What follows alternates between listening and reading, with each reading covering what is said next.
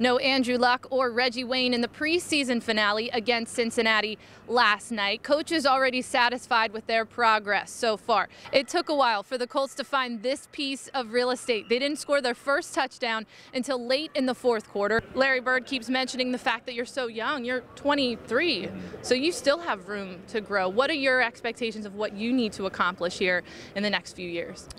Um, it's really being a leader. A busy weekend for Colts general manager Ryan Grigson as he tries to put the finishing touches on the 53-man roster. Danica, you're 27th in the point standing. I thought you were going right to say now. I was 27 years old. I'm like, you're sweet. 27, you're close enough, right? 31. 2013 has been added to the Big Ten Champions banner at Assembly Hall. Most of the Hoosiers that were a part of the title run are gone. What's the status of forward Danny Granger? That's the question everyone wants answered. He played in only five games last season. Well, I tell you what, JMV, DHB is more than just a football player. He also likes to tell some riddles.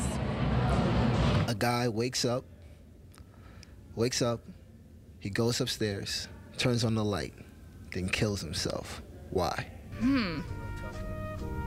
I get no more input on that? No, I mean you could ask questions. You get ask uh, yes or no questions to kind of help you kind of figure it out. Where did this man live? Uh, he lived in a house.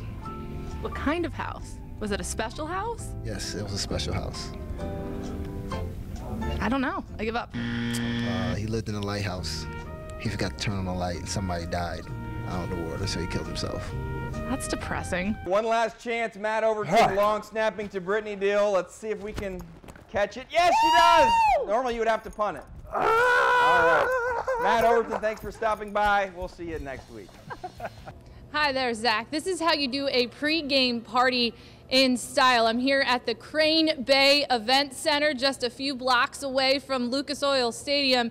And this is the home, at least before the game, for the sportevents.com VIP tailgate party. Things just getting set up over here, but I'm telling you, this is the place to be before kickoff.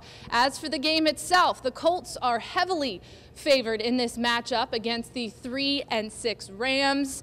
Trent Richardson has been a main topic of conversation this week. He missed a few days of practice with an ankle injury. He did participate on Friday and is questionable for today's game, but he told us that he will play. Richardson still trying to find his groove after joining the Colts in September. He's averaging 3.1 yards per carry and has only found the end zone twice. It's a lot more to come, and I know it's gonna come. And when it do, it's gonna hit. And like I always say, it's gonna hit hard. And so, um, we start, you know, just just digging in the ball with the with the running backs, just more to come.